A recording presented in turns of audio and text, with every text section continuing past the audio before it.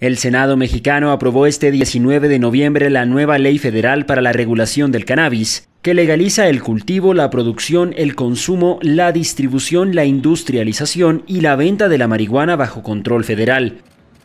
Con la oposición del derechista Partido Acción Nacional PAN, el Senado avaló con 82 votos a favor, 18 en contra y 7 abstenciones crear el Instituto Mexicano de Regulación y Control de Cannabis, además de reformar la Ley General de Salud y el Código Penal que prohibían el consumo lúdico. Aunque aún falta la aprobación de la Cámara de Diputados, esta legislación colocaría a México como el tercer país después de Uruguay y Canadá que regula el cannabis recreativo a nivel federal.